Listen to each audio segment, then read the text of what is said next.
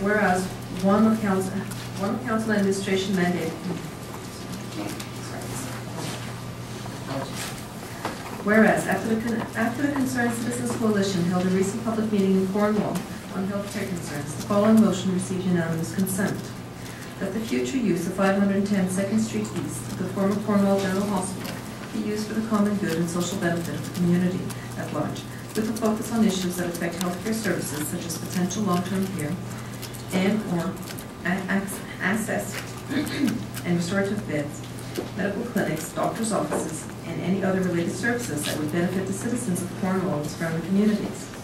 We are asking the Minister of Health for a, lo- for a local task force to be formed with representation from the Minister of Health, City of Cornwall, the counties and other potential stakeholders such as QOHB, L- LHIN, MPP McDonell, and three members of our coalition. The minister has stated publicly that community consultations play an important role when deciding the future of hospital sites. If the community has any alternative proposal, we would encourage them to bring that to the hospital board. Following the direction of the Minister of Health, the task of this, in this group would be to bring forward an alternative proposal within 60 days of being formed. Now therefore, the Concerned Citizens Coalition requests Mayor and Council support their request and that a letter be sent to the Health Minister indicating that the Mayor and Council fully supports the Concerned Citizens Coalition request, along with a copy of the motion passed, and that a letter be sent to the follow- following for their support, and request they send a letter of support for the motion to the Minister of Health, MPP Jim McDonell, SDG County Council and local municipal councils and SDG, EOHU board members, and LHIN. Councilor Vet. Thank you, Mr. Mayor. Mayor, this motion is not exactly my motion, I can't take credit for it. I think it's the, the uh, coalition of people who had a number of meetings in the community who have concerns. Uh, I think it's, uh, they're requesting council just to support uh, the motion, so that the Minister of Health can uh, uh, get the task force in place to review uh, basically um, the needs for long-term care beds or other, uh, other uh, uh, health services that they mentioned. And a feasibility study whether or not the general hospital would be the place for a variety of care services and others. I think it's important that, you know, we- as you know, we tried through the LHIN, uh, we've, nine months through the LHIN, and they come back to West Collins, that's not their job. Uh, Their, their, their mandate is to fund the programs, I accept that. And I think the only way we're going to get a task force in place is to have the, the Minister of Health have a representative come down and make it happen. And I think, Mr. Mayor, it's important that these, the players also be involved in this. And I think some of the concerns we have to look at, and I've asked for information, I think all councilors have, have received it. The average age of tenants in our senior buildings. We have thousand and forty-seven senior buildings. The average age is 70, 70 years old. That's telling me the next five years, we're gonna need more room. And that's just the kind of study that the task force could bring forward and say yes or no, or, but I don't think that there should be a big panic out there to, to tie up, feeling that we're tying up the hospital for any length of time. If this letter is sent out tomorrow, and the Minister of Health decides that, no, because as we know, the Minister of Health has to approve the sale of, the- of the, the facility to start with. And that hasn't been done yet. And I think it's important that she says yes or no. And, and uh, the bottom line is that's all the, the, the community is requesting. And I think it's, it's not unfair to ask council to support the- their uh, request to have the minister set up a task force. Mr. Mayor, as you know, with the land, you were the one that, uh, on the second one, moved it, and uh, I seconded that we tell uh, Chantal Leclerc from the LHIN, we want to see her in January. I think it's important that we do that, and I hope that the rest of the council understand that all the community is asking is to have the ministry set up a task force, and then we can lay everything down to rest after and go on from there and continue on. So, uh, Mr. Mayor, I hope that uh, I have the support of council, because these people have worked very hard. This is non-paid, we're talking non-paid committees, these are concerned citizens for our future. And I think that's our job, to be concerned also. So we should be able to at least uh, support them, to have the task force put into place to see whether or not the needs there. Thank you. Just to uh, be clear, and I know I've seen it in print media also, that uh, the name of Ms. Leclerc has come up, but if I'm not mistaken, the motion table by Council Clement made reference to a representative from the Ministry of Long-Term Care. That's totally different, Mr. Mayor. That's, I mean, you're, you're, you're, you're bringing in, I don't think we should be voting on one or voting on the other. I'm not- mixing anything up, I just, just want to be clear that, uh, well, let me ask this for clarification. The implication of Chant- uh, Chantal Leclerc's work in Is it what? was Chantal Leclerc is involved, in what is it? She's, she's in charge of LHIN, Mr. I think you know that. She's the buffer between the province. Do you want her, or do you not want her? Well, I think, I, well, no, well, what I'm saying, is you gotta sit at the table. Okay. Every, the Minister of Health can sit everybody at the table without having somebody saying they don't want to be there, because they do the funding. I Understand, okay, okay, appreciate that clarification. Council Clark, please. I'm sorry, Council Dupelle, Thank you, Mr. Mayor. Through you, um, I, uh, I second this motion uh, for Councilor Rivette because I think that it's, in- it's very important in our community and I think that the one thing that's really important is that uh, our residents know that we're listening. Think that sometimes, you know, in the grand scheme of things out there, our residents don't uh, realize that we do listen. And uh, unfortunately, sometimes we don't listen all the time and, and that's a trial and error on our part. Um, I think that this would just encourage information sessions, this would just uh, show this uh, concerned citizens that uh, we do show our support behind this. This is no financial implication to the city of Cornwall. Um, And, you know, when we look at the Cornwall Community Hospital or the former General Hospital, these are connections and, and cornerstones in our community that many people have uh, have helped build and are now, new generations are helping build the new improved community uh, hospital. And uh, like I said at the last meeting, I think that the uh, new name that we're going by, which is, uh, the instead of the former Hotel Dieu, the former General, is the community, uh, community hospital. I think that it's important that we make sure that the community is involved, is involved all the way. It may be that the players come to the table and say that, you know, we're not interested in doing this, but at least, you know, we've done due process around this table and we've advocated for the residents of Cornwall, and I believe that that's what we're elected to do. Thank you. Uh, Thank you, Your Worship. Uh, um, This particular motion, I think, uh, we talk about the MPP, Mr. McDonell, uh, SDG County Council, Mr. Chair Hamilton, and the LHIN. I think one of the people that should be on this, because it is a a regional effort that we should be making, and and like the more agencies and representatives we have, the better. I think the MPP for for Glengarry, Mr. Grant should be one of the Part of this people area. that's on this, because he is part of this area. So, So maybe you could add it. Could it, uh, I don't know if that means a motion, Worship, to add the MPP Grant Crack to this list, or was it just uh, friendly amendment? part of the area. Second by Glenn. Council is uh, Council Grant seeking the floor? Yeah, I don't Second think by, it's- uh, I didn't, don't think it requires a, I don't either. Council Gardner, followed by Council Grant. well, I, I'm really gonna support this because two and a half years ago or so, I went out the community and got hundreds of names on a petition to, for CCAC lands to look at bringing more long-term care, care beds into this community. Unfortunately, some of the answers I got back were that uh, municipality, we had more beds than what we needed uh, per household. And I was really disappointed in that because the end, when I went out and got information, CCAC sent me an email that said that we would have 800 people, SB&G and Prescott, on a waiting list for a bed. Mind you, some of those were duplicates. Uh, At the time when I was on Glen Stor Dun Lodge, we had 224 on the waiting list. Again, there's some duplicates there, so it might be 325. The answer, one of the answers I got from the province was that per capita, the city of Cornwall had more beds than a lot of other communities uh, on a percentage basis, and that before we got more beds, uh, there are other communities that would be getting beds well before us. I don't buy that. So I will support this, I think we need to go forward with it. I, I, we can't be stopped by the province because I recognize the petition and with the- the names that I got on it, that there is a problem, and I met with a lot of groups, and I wish the coalition had been around at that time to support what I was doing. However, I will support the coalition this time. Councilor Grant, please. Councilor Sampson.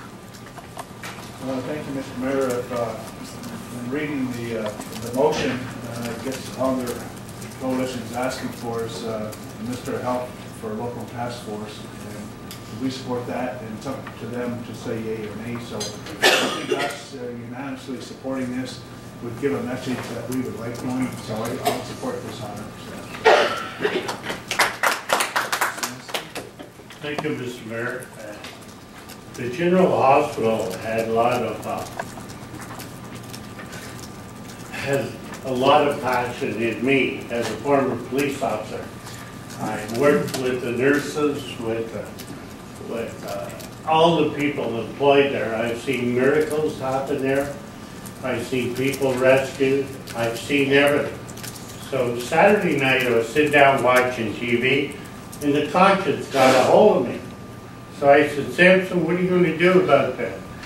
So I got on the computer at 12:45 a.m. Good morning, Honorable Minister Matthews.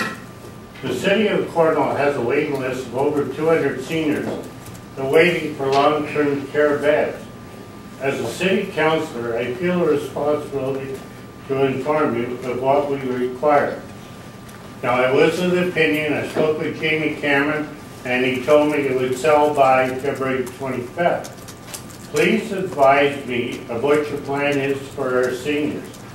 Being we have a vacant hospital that would be selling for over $2 million. Will you please assure me that this money will be used for long-term care beds so our seniors will have the access they require for future medical service in their golden years? Thanking you for your anticipated response and cooperation for our seniors who paid for this hospital. Respectfully, your Councillor Shirley Sampson. I received an email today from the Honorable uh, Minister's Office, Matthews. Thank you for emailing Deb at her constituency office. As this issue falls under Deb's responsibility in her role as Minister of Health and Long-Term Care, I forward your email to her ministry's office at Queen's Park. Um, Please be advised if you require any, any further follow-up to contact me, uh, Cecil Brock, sincerely. So I took my own initiative because I didn't have a copy of this motion until tonight. So I hope, I, I know in baseball you have to cover all the bases, and if they do sell it on February twenty-fifth, and they put two million dollars, I'm hoping that it'll be assured for long-term care, whether it be at that building, the Street Arena, or some other vacant building that has to be built. So I took the initiative on my own behalf. I don't know if I stepped out of line, but I feel I had a responsibility to the people of my city. Thank you.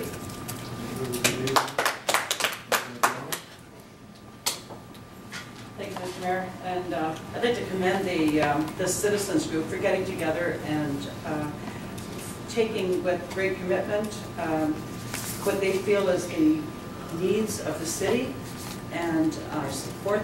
We should uh, ask for this um, consultation with higher levels of government, the provincial people who who will own the building or who control healthcare in the area. And um, I guess I would like them not to just give us a yay or nay, as some councillors have said, but I would like them to give us a needs assessment. Like, we hear various figures, like we've got 10-year waiting list, and we've got 10,000 people on the waiting list. I hope that when they respond to us, and I think we should build this into a request, that we ask for a specific needs assessment, and especially since I've heard the same figures that Councillor Gardner mentioned, that we have a higher than um, average percentage of long-term care beds for the population, that that actually be verified and established, you know, because um, I think that um, information is absolutely key to making any decisions, and um, we would like the, the information from the part of the province where they want our continued support. I'm heartened by the fact that we do the same Minister of Health that we had before today, so um, Councillor Sampson's letter won't go astray, and we'll have some continuity on this file, but we would certainly like more clarity and information. Thank you. Councilor Clement? That night, a couple weeks ago, when the hospital made their presentation, they basically told us we're in the business of acute healthcare, and we can't hang on to that um, Second Street site as an asset because it just doesn't fit into our acute care budget. But um, as I said that night, the Second Street site is more than just an asset for people. It's, um, it's a place that represented healthcare for a long time for this community a place where people got competent, caring healthcare. And so it's more than bricks and mortar. And it's more than just its great strategic location within the city. It's more than all of that. So to me, when people get together and get organized and say, we want to talk to the minister and we want to sit down and do that in an organized fashion, it's a good thing. So I support this. We should um, support them in terms of voicing their concerns in the way that they have so far to the ministry. Well, I I join with all my colleagues in supporting the motion. Um, My own reservation, in part was expressed uh, by the last comments by Councilor Clement. Um,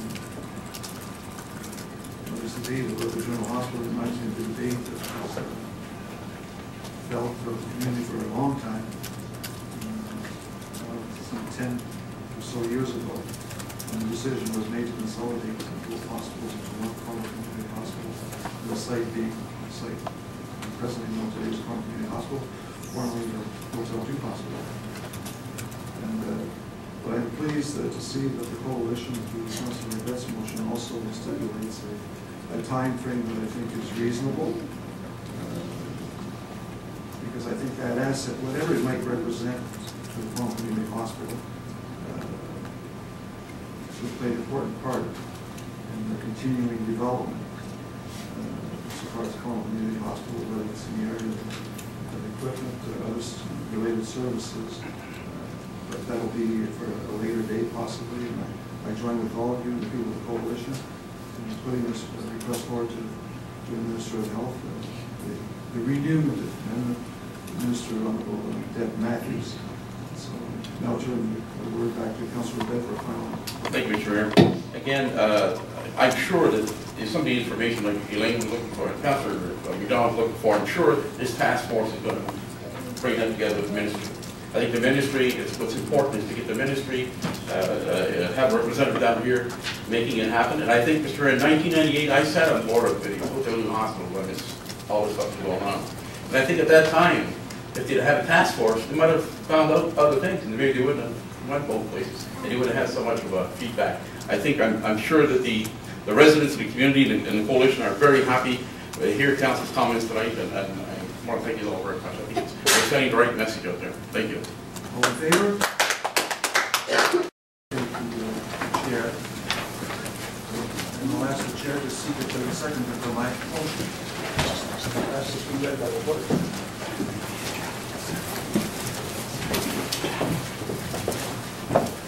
Moves it.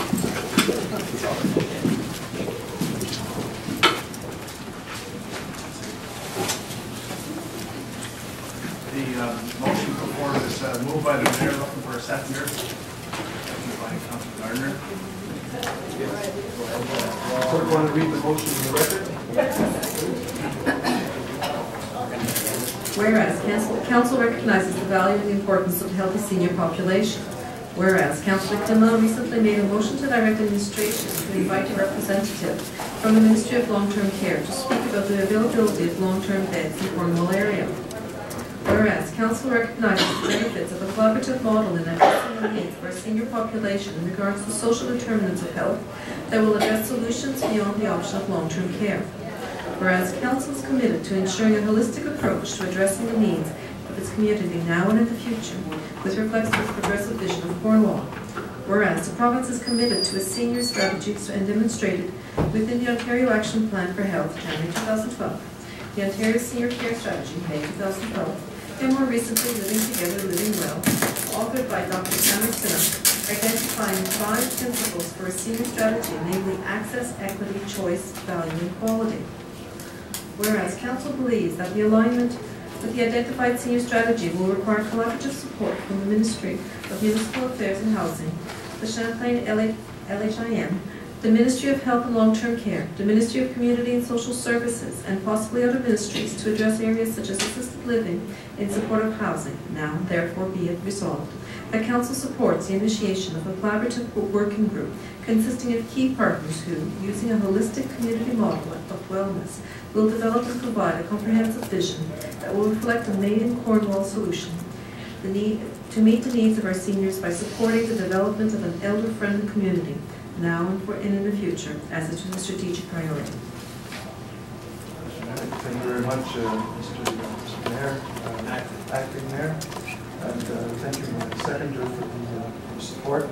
Um, As I communicated with all of you earlier today, but just to put it back on on the record again, uh, this motion, as uh, as was read, uh, was not uh, drafted with any sense of contradiction to the motion originally put forward by our colleague, by Councillor Rivette, nor should it be interpreted as being contrary to anything the coalition has put forward through the motion tabled by Councillor Rivette, seconded by Councillor Bell. And so, but I see it as an opportunity for the community through us uh, to empower the community to become engaged, to take some positive uh, action, to be proactive in studying, identifying, and finding courses of action and, and looking for potential funding to address the areas of concern that will be identified uh, through this collaborative effort. Uh, it's a process uh, that will, of course, last much longer than the one put forward by our colleague a few moments ago. Uh, but we have a wonderful, uh, I believe, spirit of solidarity around this table when it comes to, as we indicated in that previous vote taken, uh, when it comes to seniors in our community and everything that impacts them.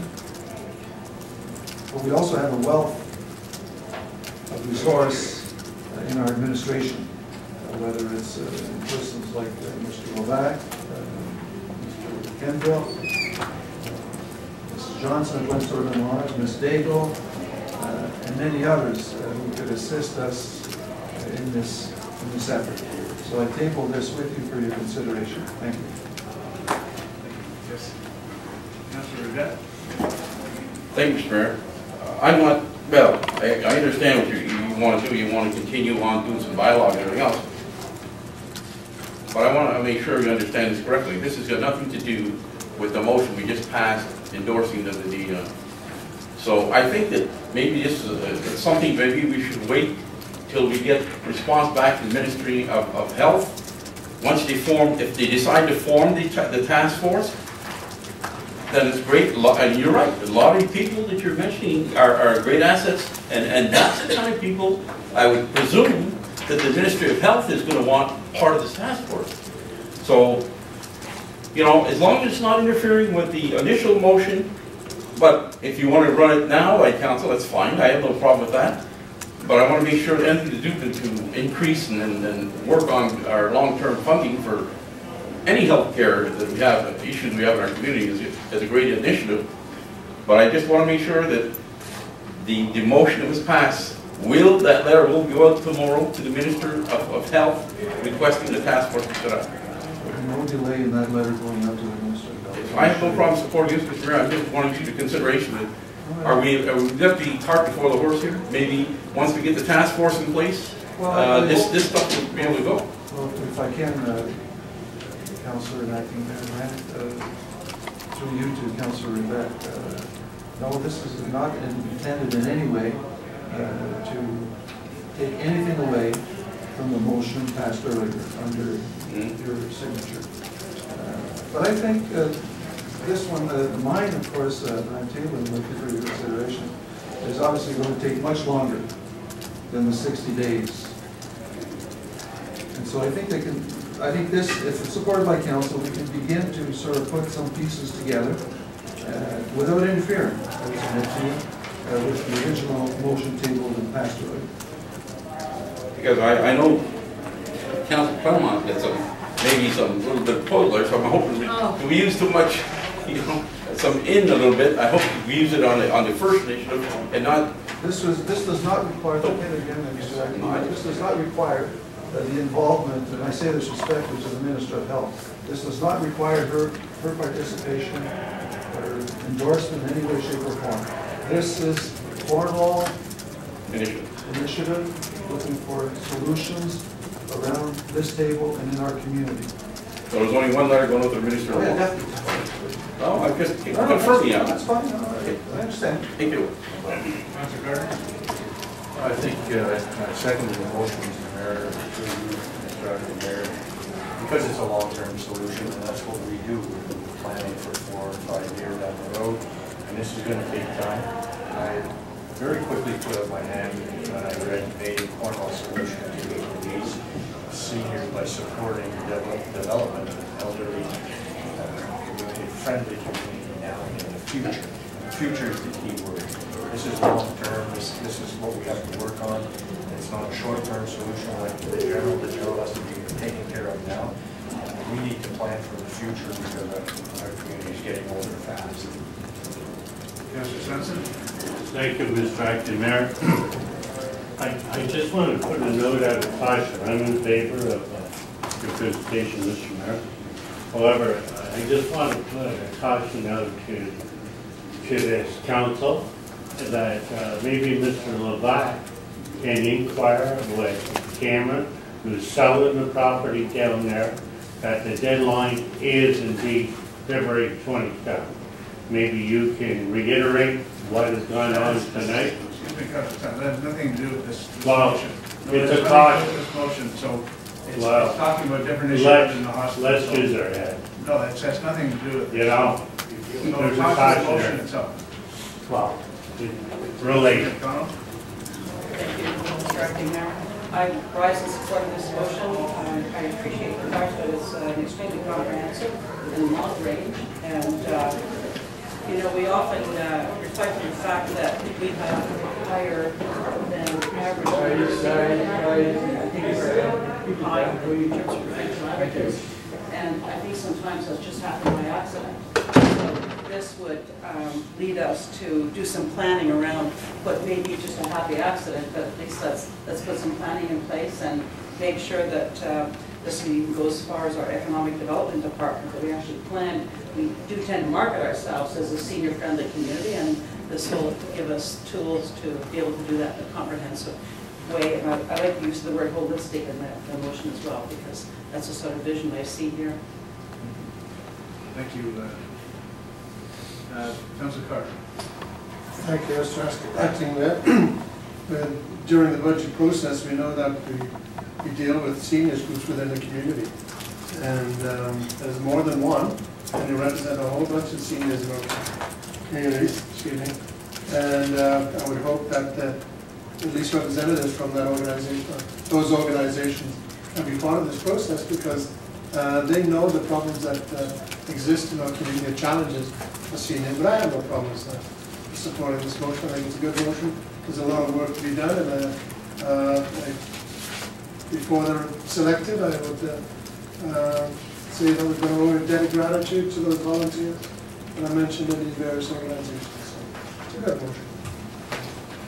Councilor Fennell? We don't have a seniors committee, the way we have a youth committee or a senior focus committee. Not yet. Not yet, okay. So when I, when I read this, I thought of that. Um, I think it's